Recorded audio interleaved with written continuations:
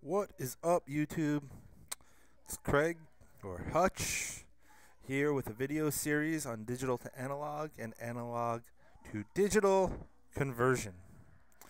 Um, seeing as I work with audio professionally, this is a topic that I'm really comfortable with and I really enjoy.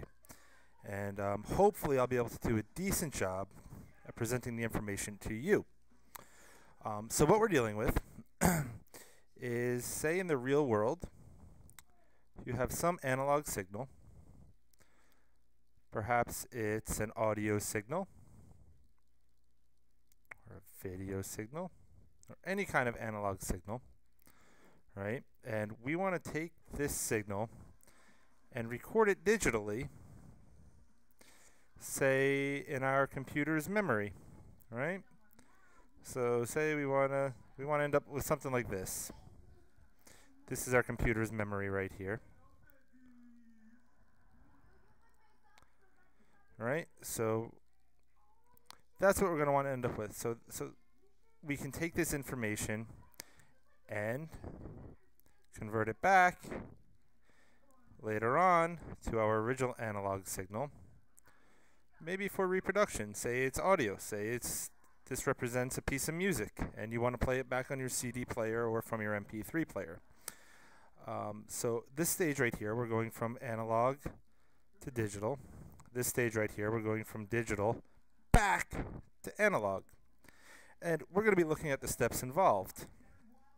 So let me change my color here. What we're going to, for now, we're going to have a, simply a black box. Uh, we're not going into the, the design of these things quite yet. Right? So um, we're going to call this V out, and this is going to be a digital signal. And over here, this is our V in. I should have labeled my axes over here. So uh, this is going to be time here.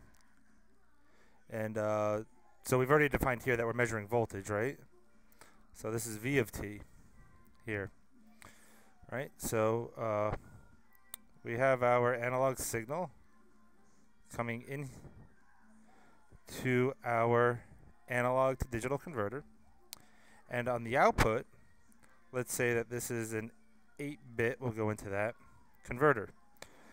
Uh, we're going to come out with something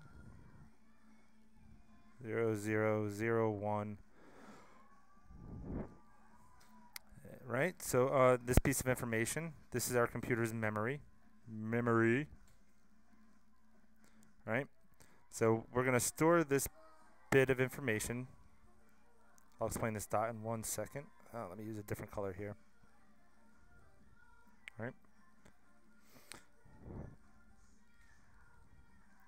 So this whole word, this 8-bit word, 1, 2, 3, 4, 5, 6, 7, 8, yep, stored up in our computer's memory. So that later on, we can go from digital back to analog and uh, get our signal back out. Actually, this should look something a little more. It should come down. Let's just, eh, that's ugly. I'm trying to keep it on the screen for you guys. Okay. So this part we're going to address in a separate video. What we're looking at right now is simply analog our analog to digital conversion. This process to go from analog to the digital world.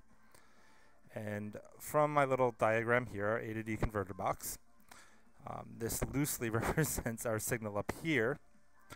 So let's say we're looking at this point. The signal's coming in, and at some point of time, we are going to capture this piece of information. We're going to capture, you know, what the voltage is, our V in, at this point in time.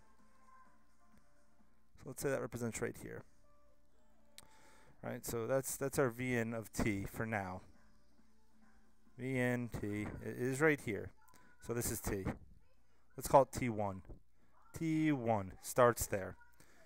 Right? So this bit, again, V in T1 this bit of information is going to go to our converter, and it's going to come out as a binary word. Um, what we're ultimately going to have in the end of this whole process are many, many, many of these samples. What we're doing is we're sampling our signal here, our analog signal, at a specific frequency, recording the values for Vin of t at these intervals and storing them as a binary word. So the question is, how do we accomplish this? And it's actually not very hard at all. In theory, in practice, the design, that's a different issue. So we said that we're looking specifically at this point in time, T1. And the first thing we have to define here is what our maximum voltage is going to be. We need this information. So let's say it's 5 volts. And uh, we have a name for that. That's that's VFS, right? So VFS FS is just full scale. So this would represent a full scale signal from here to here. That's as high as you can go. If, say, you have a sample point up here, you're going to lose that information. If you have a point up here, what's going to happen is you're going to sample it, and it's, it's called clipping. And maybe this is getting too far into it but your signal will be truncated here and you're not going to have this information. It's going to be recorded as VFS. That's it. That's as high as you can go. So, um, we have two pieces of critical information at this point. Um, those two pieces of information, let me choose another color, is our full scale voltage, the maximum value of Vin that we can record. Uh, we know because we've defined that as 5 volts. Okay. The other thing that we know that's very important is that we're converting to an 8-bit word.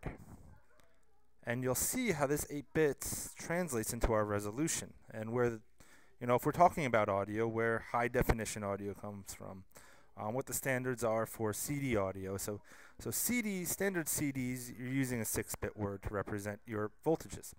Um, HD audio, typically you're looking at 24 bits the more bits you have, the more resolution you have, and your your quantization error, which is what we'll get into that, is is reduced by the more resolution you have and the more bits of data you have to store this information.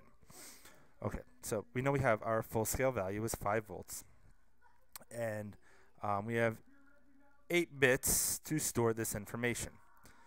Um, you probably, you know, 8 bits is 2 to the 8th 8 bits of information. Alright, so that's 256. We should all know that by this point, I hope. Uh, so, we have 256 quantization steps to represent all 5 volts. Easy. So, let me try to um, build a little bit of intuition around this. Say we have a scale here, my little scale, all right? And it's from 0 to 5 volts.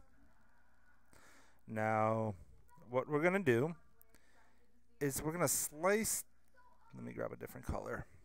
We're going to slice this thing up, you know, so that's we're going to take this scale and slice it up into 256 segments. This is not nearly 256 segments. I can't draw that many. Um, you know, if I did, if I, if I did something like a two-bit converter, you know, then to, this would be two bits of information. You have four quantization steps. But do something a little more realistic with an 8-bit signal. So we're just going to pretend that, you know, dot, dot, dot, whatever. We have 256 slices here, 256 bits. So, and, and you know, we're quantizing this 5 volt signal. We're going to end up quantizing 5 volts here into bits of 256 bits of information. So, and, and from this, the first thing we have to do is determine, uh, that's a really bad arrow, sorry, um, how much voltage this distance here represents. And that's really easy to do. So we have 5 volts. Let me grab another color yet again. I like changing colors up. So we have 5 volts that we are slicing up into 256 bits. Um, let me just use my calculator so I don't make a mistake. So what we're looking at then is 0 point zero one nine five volts per bit, right? Bits.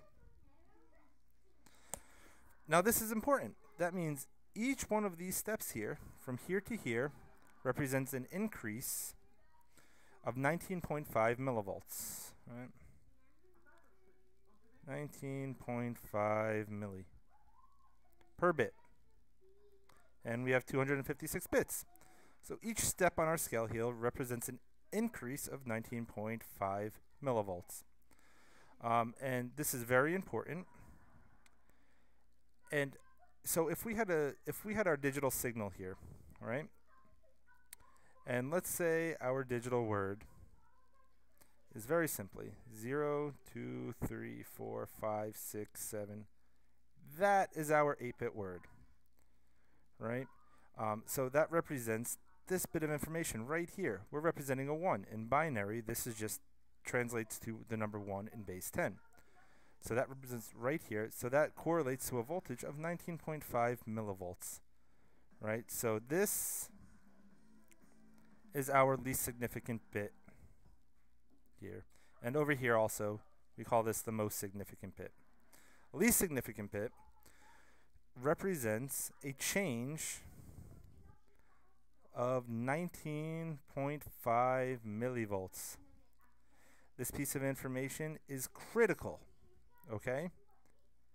And um, we, we, again, so, so far we've defined our VFS over here, our full scale voltage as 5 volts this piece of information is important. As you can see, we've used it to define how we're going to slice up this our VFS by 256 or steps or 8 bits. Um, so by doing so, through division, simple division, it's real easy, we've determined that our least significant byte here in this signal represents 19.5 millivolts. So we're going to record that. This is another critical piece of information. LSB is equal to 19.5 millivolts. Okay, so we have all the information we need now. We're going to put a star up here because this stuff is important. We have all the information we need now to start doing our analog to digital conversion. And I'm going to stop the video here so come back and we'll finish up in part two of this series.